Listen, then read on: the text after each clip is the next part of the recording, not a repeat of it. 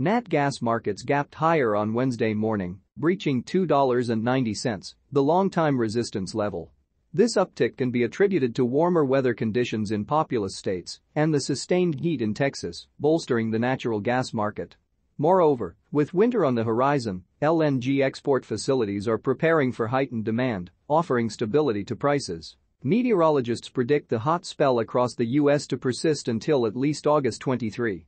The southern regions will experience highs ranging from the upper 80s to 110s, while the northern areas will see showers with temperatures between the 70s and 80s.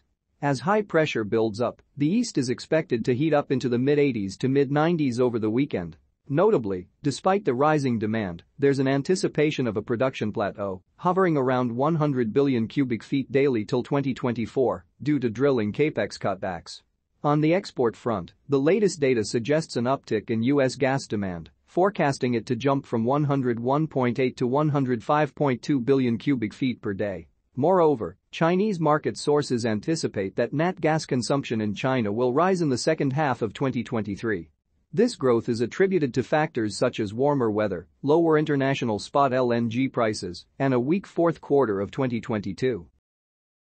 The European gas market finally woke up and prices jumped over 29% to more than 40 euros per megawatt hour, the highest in two weeks, driven by concerns about dwindling LNG flows, which outweighed the fact that gas storage is at record levels.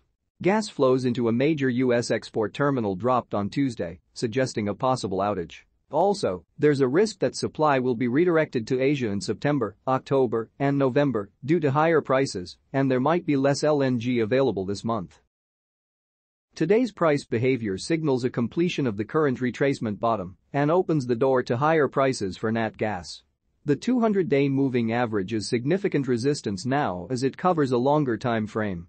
Overtaking $3 will signal the return of buyers, a sustained move over the $3 level should generate enough upside momentum and then look for a near-term rally into $3.20. Regardless, short-term dips should continue to be a buying opportunity and I do think that eventually, cold weather will drive this market higher.